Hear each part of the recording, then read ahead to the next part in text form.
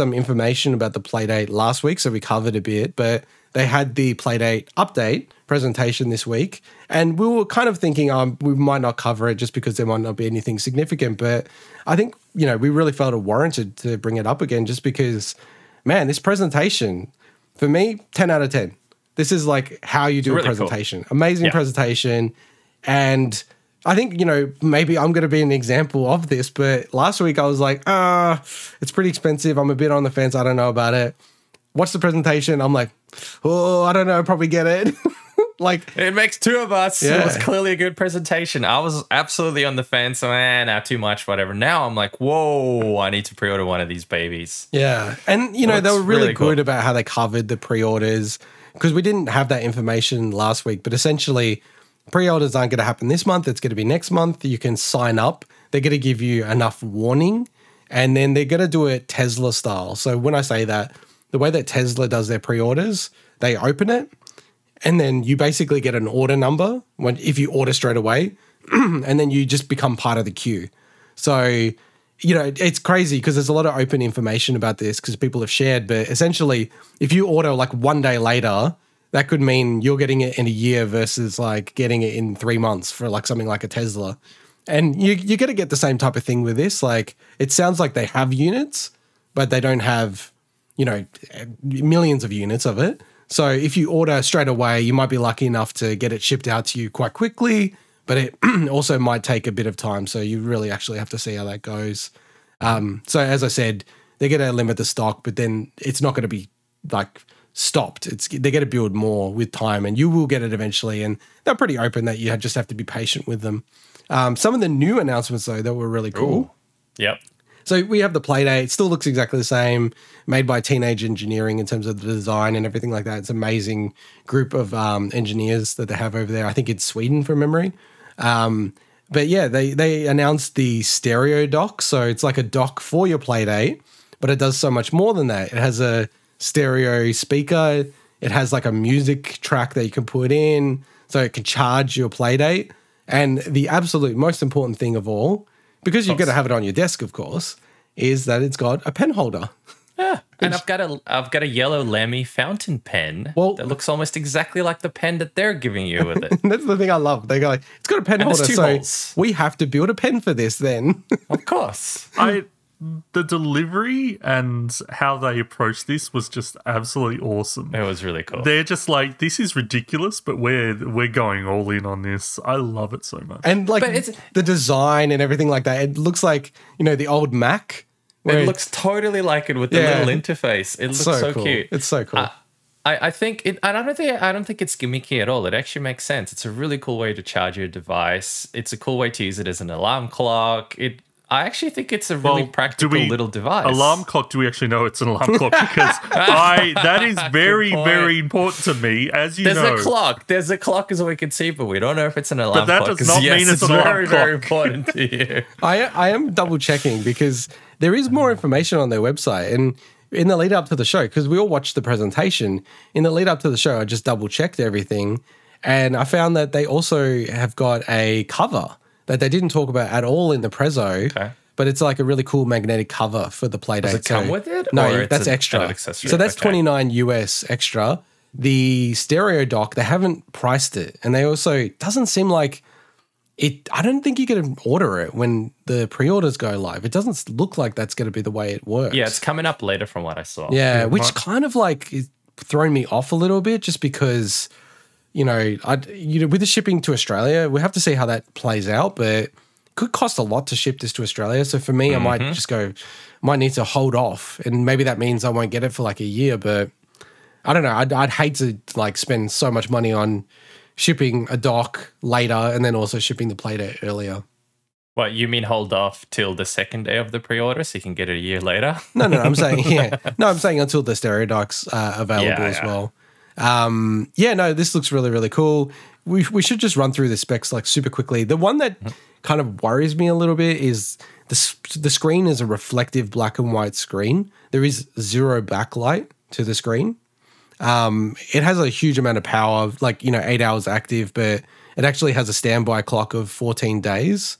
I can't see anything about an alarm, Swinny. Never, never Uh-oh. assume an alarm. Never assume. Well, an By. I- the way, in I case you guys are think there is- wondering, we we had this uh, quite a few episodes ago. We are talking about the Game and Watch that came out recently, and it's a Game and Watch and no alarm. In case you guys are wondering, so I think the alarm thing must have something to do with battery on these devices. Must Maybe. like destroy them somehow. I, I look, Swinny. I don't actually think it has an alarm. Like when I keep like looking, there's there's a reference I to clock not- but not alarm. As I said, I did not assume. I've been burnt before. yeah, because people are lazily saying an 80s style alarm clock, but nothing in their material at all says alarm. Um, Yeah, and you know some of the other things we've already seen, like the crank and everything like that. But the next one that I wanted to talk about briefly is, you know, it's got a 180 megahertz uh, processor, which is like fine for what it's trying to do. But the awesome thing is that it supports Lua and C programming language. Really, really both cool programming languages. And then with that as well, kind of a bit similar to what Analog uh, doing with the Analog Pocket and Game Boy Studio, they have an online video game creator called Pulp, uh, where you can So create good. your own It games. So good. yep. So, I mean, this whole ecosystem is really awesome. We already knew about, you know, that you're getting two games per week. I don't think they we had the specificity it was going to be two games every week for 12 weeks in season one. Season one, to me, implying that there'll be a season two. And then, Swinny, did you want to cover some of the special sort of game developers that are sort of developing things for this and where they're at with that as well? Yeah, so if anyone hasn't, uh, they kind of they showed off mainly the titles and I guess some of the graphics of a lot of them, um, but they only focus on a couple. Some that we've already known about for quite a while, like uh, Keita Takahashi's, um, like I can't remember the name of, it, but the one where you rewind time with the crank. Yeah, that's Um, the main one that they keep Yeah, showing. Yeah. Uh, Bennett Foddy from you know QWOP and getting over. it. It's just wild to me that QWOP is still in the like gaming stratosphere. Like that is a game that's just I remember playing as a fun little like you know flash game or whatever years ago. I was probably playing at your place one time. I remember, but um, and the probably the they've spent a, quite a bit of time uh, with Lucas Pope, who was actually featured. Um, who's the creator of Papers, Please and Return of the Obra Dinn? uh, Return of the Obra Dinn gotta play. being a game that is like almost like visually exactly yeah, exactly. Along, along the lines of the maybe play date. port it So- performance. But he showed off a bit of work in progress of a game called Mars After Midnight, which looked really, really cool. like, really a cool. great tone to it. Uh, we don't know much more than the visuals that he showed I off. don't think he knows much more either. No. He said, Well, that- that's- Uh, "We'll see where this goes." and it- it's coming up in the B roll. But that, that's what I loved about it. That he's just Yes, great timing, Swinny. Um, he he just like was so honest about it, and the fact Yeah. that they kept it in like that, they're just like, oh, I'm playing around with it. It's really cool. I don't know what this is gonna be. It's kind of fun. Because it's Well, not the to be clear, it's not a season one game. So Yeah, But I mean, look, the whole the whole thing seemed really honest to me. Even the way they said, Hmm. "Hey guys, you can pre-order, but here's the deal, and we may not be able to get to it, and there may be a short shortage Yeah. and all that stuff." I like that honest conversation, and I think maybe that's why you and I got sold on this thing. Now it's that Well- honesty that came out. and, and, you know you can see it in the clip, um, but just for audio listeners, which we have a lot, right? It's I love that you used the crank. You- You've got like basically a little peephole or like a sorry mail slot of your house or something, or you know your door, and you can actually use the crank to open up the little mail slot, and then you like look through and you can see like the little character on the other side.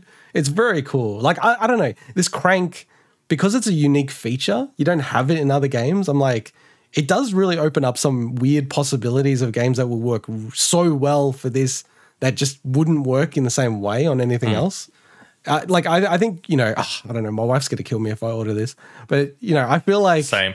you know, I'm very likely to order this. Mike is. Where, where are you sitting on it, Swinny? Oh, I want the hell out of this. Oh, really? Oh, so we're oh, we're Play-Doh boys. This is the Play-Doh podcast. Uh, Welcome to the Playdate podcast. I mean, on Panic- Sunday the thirteenth of June. I don't know if I want it so much so that I'll like get it day one or whatever, but Oh, I'd, okay. I'd like to eventually get one. Yeah. Yeah, yeah, yeah. I mean, this is such like I do wish the price point was a bit more, you know, competitive or whatever you want to call it. I get that they won't sell millions of this, so they just hmm. can't. Well, maybe they will if we they already have three suckers that weren't going to get it last week and this week just because of an ad. But I just think this They would be something that if you saw an EB Games and it was like 149.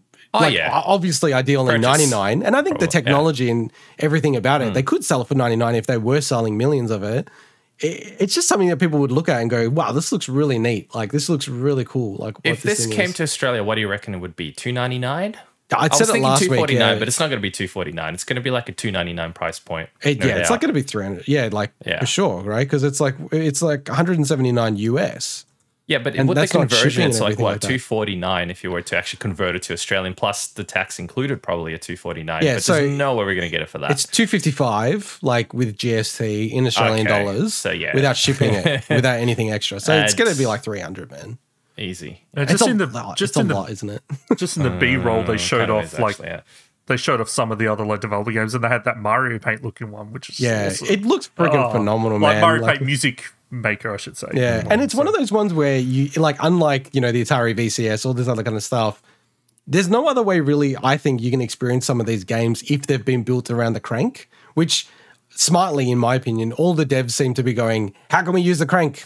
like, what can we use the crank for?" Well, I mean, you could Um, you could replicate it with a thumbstick. You just rotate yeah, but it's it. not. It's just not the same. I know it's not the same, not the but you could even you could even get an attachment for your controller that's like a little crank, but it's not on the side, and Yeah, you just move it that way. seamless, seamless. You can, you can kind of replicate Yeah, right. it somewhat on other consoles. No, it looks But really cool. different. Looks This su- is su- cool. looks super cool. I'm I'm really looking forward to it. All right, uh, let's get into my favorite segment, the bargain bin for the week commencing the 13th of June 2021. As always.